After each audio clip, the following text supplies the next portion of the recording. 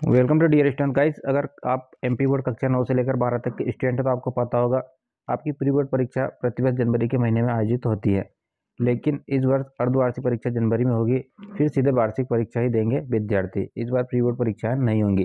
Complete news है guys दिसंबर के, दिसंबर में होने वाली अर्धवार्षिक परीक्षा की तारीख आगे बढ़ने से असर पड़ा प्री बोर्ड परीक्षा पर। और गाइज़ यहाँ पर आप इसका डिटेल्स देख सकते हो। हर साल कि अर्धवार्षिक परीक्षा के बाद होने वाली नौ से बारह तक प्री बोर्ड परीक्षा इस साल नहीं होंगी। अर्धवार्षिक परीक्षा के बाद विद्यार्थी सीधे वार्षिक परीक्षा ही देंगे। यह स्थिति अर्धवार्षिक परीक्षा की तारीख एक महीने आगे बढ़ने से बनी है।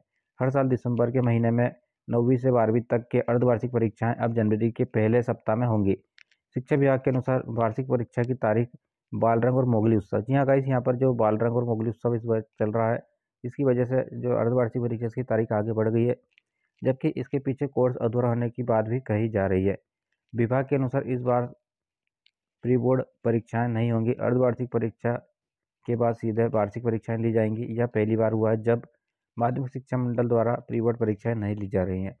और कई यहाँ पर आप देख सकते हैं डिटेल्स में परिणामों को सुधारने के लिए होती थी प्री बोर्ड परीक्षाएँ, जो शिक्षा की गुणवत्ता होती है, इसको सुधारने के लिए प्रतिवर्ष बोर्ड के द्वारा प्री बोर्ड परीक्षाएँ आयोजित की जाती थी। परीक्षा का, परीक्षा पर पड़ेगा तबादलों का असर। गाइस, यहाँ पर जो टी शर्ट्स के तबादले वगैरह हुए हैं, इसकी वजह से भी इस पर परिणाम पड़ेगा।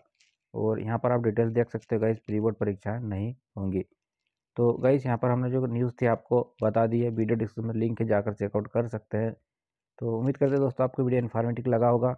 अगर आपको वीडियो पसंद आया तो वीडियो को लाइक कीजिएगा चैनल को सब्सक्राइब करके बेल आइकन ज़रूर दबा लीजिएगा। Thank for watching guys